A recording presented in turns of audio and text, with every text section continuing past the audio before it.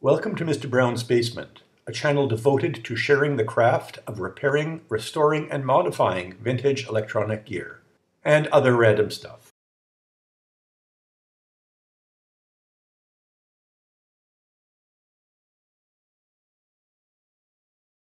Here is an HP Pavilion laptop. It's getting a little long in the tooth, but it's still usable for the things that I need, for example, burning EEPROMs. But it's got a couple problems. The first problem is uh, some of these keys don't work. I received it that way, so I don't know if something had been dropped on it or maybe if they'd been poked at too hard or something. I have no idea. Anyway, a bunch of keys don't work. That's an easy fix, a new keyboard. The other issue is that it's slow sometimes, and that's easy to fix too with an SSD. So in this video, I'm going to be replacing the keyboard with a new keyboard. They're available on eBay for around, oh, $10 or so. Unfortunately, the SSD is more.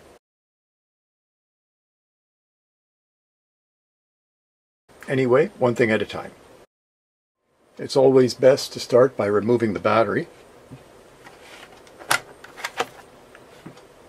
Battery's out. The hard drive and the screw which holds in the keyboard from underneath are covered by this panel and this panel is held in by one screw.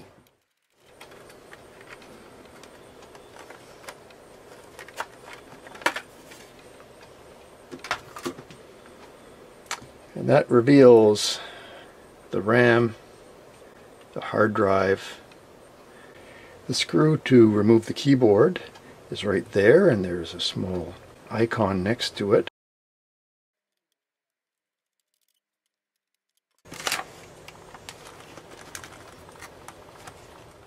Next we open the computer up and stand it on its end and push in this hole and the keyboard should come out.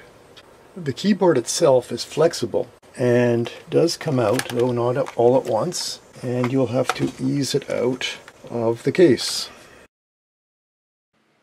Lift the black plastic catch or tilt the ribbon cable up. That will force the black catch open.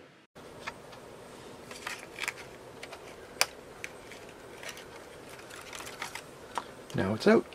Position the new keyboard with its ribbon cable and close the catch. Rest the keyboard in its opening. You may want to test it before you put it all back together to make sure that it actually works.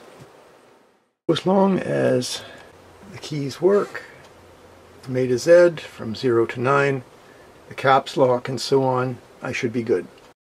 The new keyboard fits in, again with one screw. It isn't as good a fit as the original because it's lacking a frame that covers the seam between the edge of the keyboard and the rim of the case. It's also got teensy weensy holes next to some of the keys, like there and there. That's a minor visual distraction, but not a deal breaker for 10 bucks. I would have considered trying to salvage the frame off the old one, except some of the buttons are a different shape. For example, this enter button and this enter button are different shapes. So that's not going to happen. I guess I'll have to live with it, which won't be hard.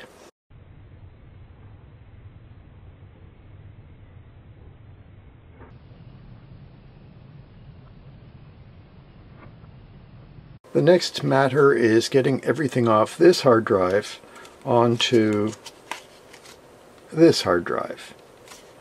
And for that, I have a toy which should make it very, very easy.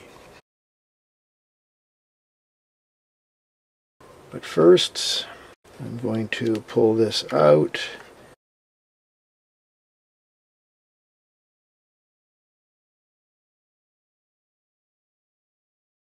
And the rest of these bumpers just prevent it from rattling and perhaps protect it because it's mechanical. But the new one isn't mechanical, so it doesn't need the same sort of physical protection. I will keep this hard drive as a backup. This one is 750 gigabytes. The new one is a terabyte. If you will be cloning the drive, as I will, the new one must be equal to or greater than the size of the old one. This little toy here can clone the drive for me. The source goes into A, which is the left-hand slot, and the destination or the target goes into B. So far so good. I turn it on.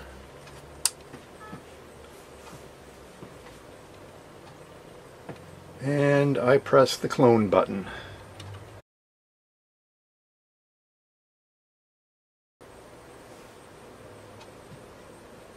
It's busy doing its thing. It's taken about half an hour to clone a quarter of this 750 gigabyte drive. So I expect it's going to take about two hours to do the whole thing.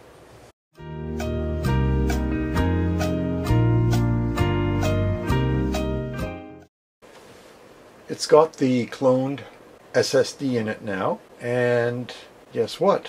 Not a big surprise, it starts Windows much more quickly now. That's it, just a few seconds as it should be. Boot time has gone from about half a minute, or a little bit more, to about 12 seconds. That's about all I can do to this computer to make it faster. Now I've got a usable PC for burning EPROMs. I'll probably use it for making videos as well.